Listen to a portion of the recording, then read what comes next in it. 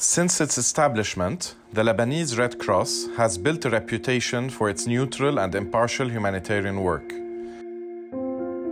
However, as the world changes, our organization must continue adapting to stay relevant and sustainable. This journey began with an OCAC exercise in 2014, where all levels of the LRC acknowledged a fundamental challenge in the organization's capacities particularly in financial management and sustainability.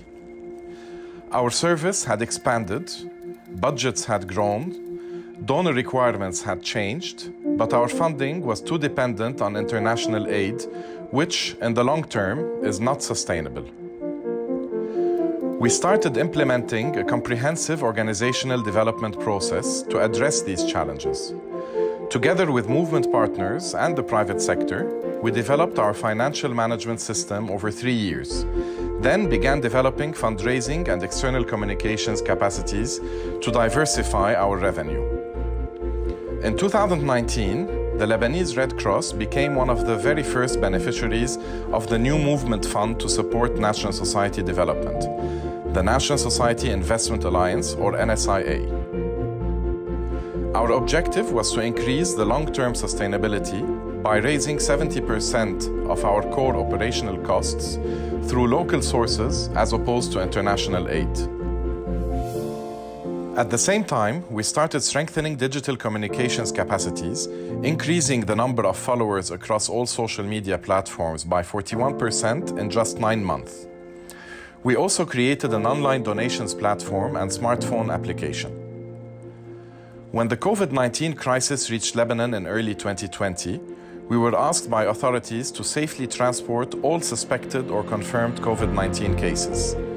This required massive amounts of personal protective equipment, and our contingency stocks would only last about three weeks, with prices increasing dramatically and limited funding to purchase more. However, the strong presence of Lebanese Red Cross on social media showcasing its work and challenges in responding to this crisis, triggered a rapid and massive response by the public. In just two months, the public and the private sector donated more than $4 million. Without that rapid support, it would have been impossible for the Lebanese Red Cross to continue providing its vital services during the COVID 19 crisis. One of the most visible results is that LRC ambulance crews did not suffer a single case of COVID 19 infections during 30,000 missions.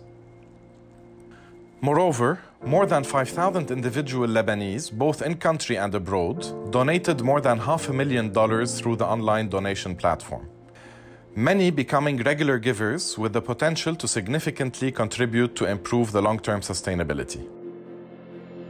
Throughout the crisis, the Lebanese Red Cross communicated transparently and on a weekly basis about what we needed, the donations that we received, and how we used the funds.